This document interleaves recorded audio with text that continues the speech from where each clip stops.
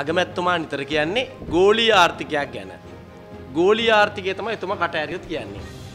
ඇයි උදේ පාන්දර ඉඳම් නැකිට්ට වෙලාව ඉඳම් ලෝක ගෝලයේ ළඟ තියාගෙන බලනවා මම මොන රටකටද නොගියේ. ඔය ගෝලී ආර්ථිකය කතාව කියවෙන්නේ ලෝක ගෝලයේ අගමැත්තුමාට රවුම් ගහන්ඩ යොදාගන්න නිසා. රටේ රාජ්‍යනායකයෝ දෙන්න මාරුවෙන් මාරුවට උඩින් යනවා.